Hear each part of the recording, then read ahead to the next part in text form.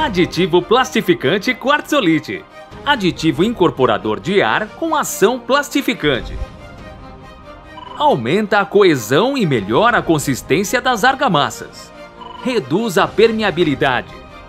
Não agride a armadura. Alternativa à utilização da cal na composição das argamassas. Aplicação passo a passo.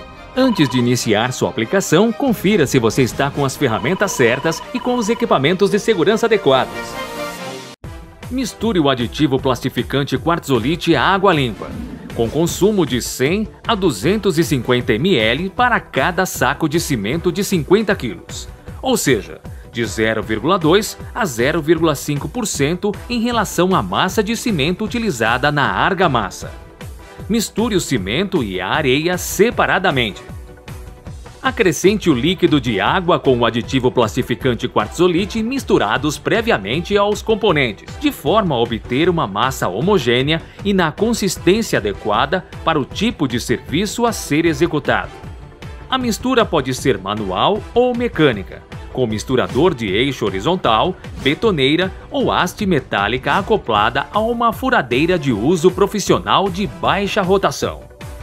O aditivo plastificante quartzolite tem ação plastificante, destinado a melhorar a trabalhabilidade e aumentar a durabilidade de argamassas de assentamento e de revestimento. Recomenda-se executar o procedimento de cura úmida pelo período mínimo de 7 dias, ou seguir o procedimento padrão de tecnologia de materiais cimentícios.